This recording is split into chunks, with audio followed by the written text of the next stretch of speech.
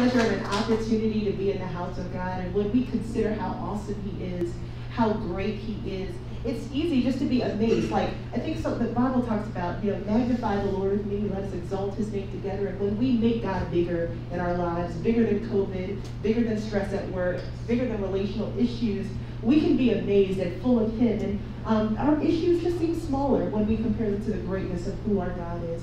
So we're going to sing the song that says, Lord, I'm amazed by you, how you love me.